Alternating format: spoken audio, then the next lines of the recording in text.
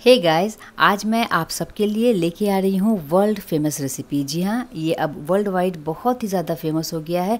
अपने देश के अलावा विदेशों में भी इसको बहुत ज़्यादा पसंद किया जा रहा है और सबको बहुत अच्छा लगता है और बनाना भी बहुत आसान है। जी हाँ आपने देखा होगा और देख के पहचान गए होंगे, ये है लिट्टी चोखा। लिट्टी चोखा घर पे बनाना थोड़ा सा मुश्किल लगता है, लेकिन ये सिर्फ़ लगता है, होता नहीं है। मेरी वीडियो को देखिए, बहुत ही आसान तरीके से स्टेप बाय स्टेप मैंने बताया है, और मैंने इसको बनाने के लिए मैं खुद नहीं बना रही हूँ, जो इसके प्रोफेशनल है ना, मैंने उसको बुलाया है। जो प्रोफेशनली इसको बनाते हैं ना लिट्टी चोखा, वो बहुत बढ़िया बनाते हैं, और वो किस तरह से बनाते हैं मैं उनसे ही आपको दिखाऊँगी और बनवाऊँगी, जिससे कि आपको बिल्कुल समझ आ जाएगा कि कैसे बनता है। यहाँ पर देखिए, मैदा ले लिया है, मैदे में थोड़ा सा नमक, अजवाइन, कलौजी और वेजिटेबल ऑयल जो होता है ना, वो थोड़ा ज़्यादा मात्रा में लगता है। और ये आटा जो लगाने का है ना, ये खूब अच्छे से आटा लगाइए।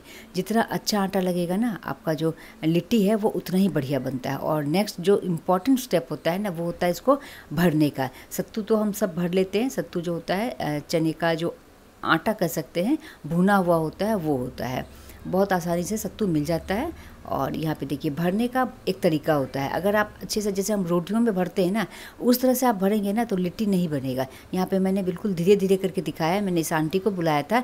ये लिट्टी चोखा बहुत बढ़िया बनाती हैं मतलब प्रोफेशनली बनाती हैं तो मैंने कहा कि इनसे ही मैं बनाती हूँ। मुझे भी आता है, लेकिन इनके लेवल का तो नहीं आता है। तो चलिए, इनसे ही मैं दिखा रही हूँ। देखिए, भर, कैसे करके भर रही हैं। बिल्कुल थोड़ा सा लिया है और ठूँस ठूँस के ना इसको भरते हैं। जितना अधिक डालेंगे ना, उतना ही अच्छा लगता है ये। खूब अच्छे से डाल देते हैं और तसल्ली से इसको बिल्कुल इसका जो ये है ना, लोई जो है, कैसे बंद करते हैं, एकदम तसल्ली से।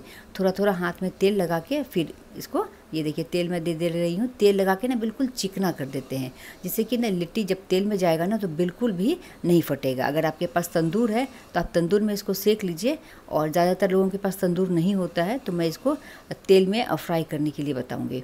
यहाँ पे देखिए, एक बार और दिखा दे रही हूँ किस तरह से भरते हैं और ये जो सत्तू का मसाला बनाया है ना, इसमें बिल्कुल ही कम चीज़ें डाली है, बहुत ही सादा मसाला बनाया है। यहाँ पे सत्तू डाला है, नमक और नींबू का रस डालते हैं, अमचूर पाउडर अगर है तो वो डाल दीजिए और इसमें कलौजी डालते हैं, अजवाइन डालते हैं और बिल्कुल हल्का सा पानी, बिल्कुल नाम मात्र का समझिए।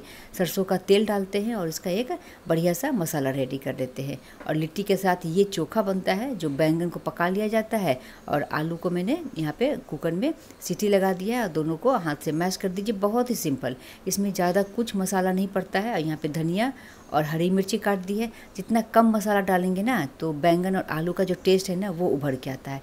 यहाँ पे देखिए नमक डाल दिया सरसों का कच्चा तेल डाल देंगे और ये देखिए आंटी ने यहाँ पे भरता है, बहुत ही सिंपल और बहुत ही लजीज। इतना कम मसाला जब मैंने बताया ना, डालेंगे ना तो इसका जो अपना टेस्ट है ना, वो बाहर निकल के आता है।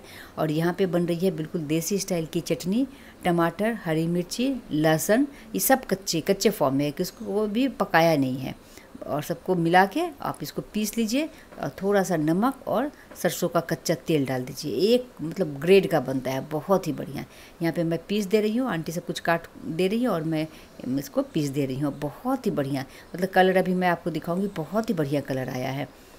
ये चटनी बहुत ही सिंपल है और ये लिट्टी के साथ बहुत अच्छी लगती है। लिट्टी के साथ ना कई तरह की चटनी खाई जाती है। तीन चार तरह की चटनी होती है जो लिट्टी के साथ खाते हैं। तो ये उसमें से एक है।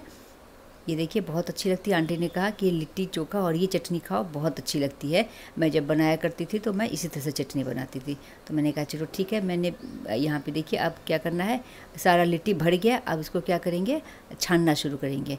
कढ़ाई में तेल डाल दिया है और एक एक करके जितना इसमें जाएगा ना, मुझे लग रहा है कढ़ाई उतनी बड़ी नहीं है, छोटी है तो इसमें चार लिट्टी चला जाएगा। तेल थोड़ा मुझे कम लग रहा था तो तेल डाल दिया है, बीच में भी डाल सकते ऐसा कुछ नहीं है। और आँच को थोड़ा सा तेज़ कर देंगे। और जब तेल थोड़ा गर्म हो जाएगा ना तो फ्लेम को लो कर दीजिए। मीडियम टू लो में ही बनेगा। और एकदम अंदर तक सीख जाती है ये, जो लिट्टी है ना। और आटा जो लगाते हैं ना, लगा के थोड़ी देर के लिए छोड़ दीजिएगा ना तो ये बिल्कुल फूल जाती है। बहुत ही बढ़िया। यहाँ पे देखिए, और घर में जब आप बनाएँगे ना तो जितना मर्ज़ी उतना खा सकते हैं। जैसे बाज़ार से लेके आते हैं, हम भी लेके आते हैं तो दो इडली जो जो मतलब दो लिट्टी जो होती है ना, वो आती है तकरीबन पचास रुपये की। तो मन भी नहीं भरता है, और घर में बनाया तो जितना मर्ज़ी खाओ, और इसको यह है कि ख़राब भी नहीं होता है। तो इसको आप रख सकते हैं, स्टोर कर सकते हैं दो तीन दिन तक आराम से खा सकते हैं। और ये सफ़र के लिए भी ना बहुत अच्छी होती है। जैसे इसमें प्याज वगैरह कुछ भी नहीं है तो इसको आप एक दो दिन तक तो आराम से खा ही सकते हो दो तीन दिन आराम से चल जाता है। तो सफ़र के लिए भी ये बिल्कुल आइडियल है। और यहाँ पे हम तो नाश्ते के लिए बना रहे हैं तो बहुत ही बढ़िया। ये देखिए, आराम से इसको तसल्ली से आप इसको मतलब सेकिए। यहाँ पे देखिए, एक बैच निकल गया है, एकदम मस्त।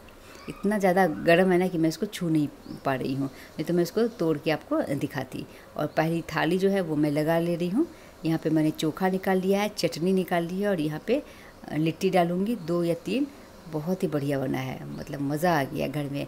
मतलब मुझे लग रहा है आंटी को बुला के जो मैं घर में बनाया ना, मज़ा आ गया। एकदम बहुत ज़्यादा बना है। बीस इडली मतलब लिट्टी मैंने यहाँ पे घर में बनाया है।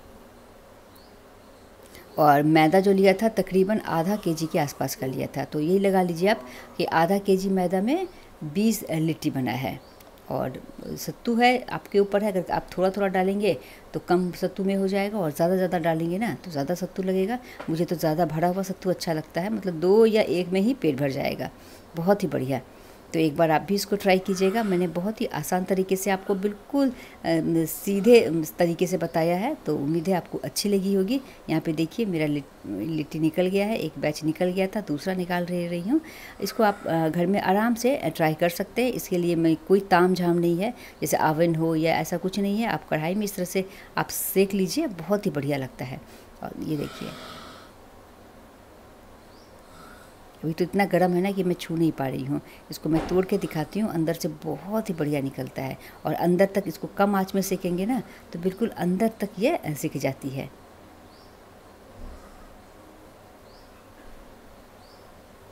तो लिट्टी चोखा बनाना बिल्कुल मुश्किल नहीं है और ये बिहार का लिट्टी चोखा बहुत ही फ़ेमस है। ये तो पहले भी लोग खाया करते थे, लेकिन अब तो कुछ बहुत ही ज़्यादा फ़ेमस हो गया हर जगह ये लिट्टी चोखा आप शादी ब्याह में चले जाइए, कहीं पार्टी शार्टी में चले जाइए, एक स्टॉल तो लिट्टी चोखा का होता ही है।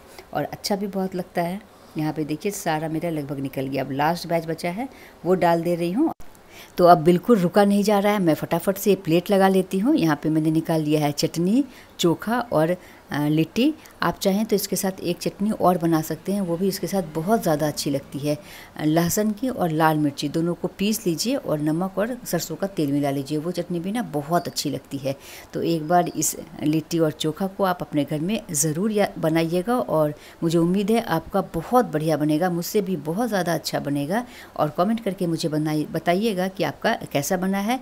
तो मिलते हैं फिर एक नए वीडियो में। मेरे चैनल को सब्सक्राइब कर दीजिए, वीडियो को ज़्यादा से ज़्यादा लाइक कीजिए, अपने दोस्तों में, अपने फैमिली मेंबर्स में, इसको शेयर कीजिए। जिनको नहीं आता है, उनके तक पहुँचाइए। तो मिलते हैं फिर एक नए वीडियो में। Thanks for watching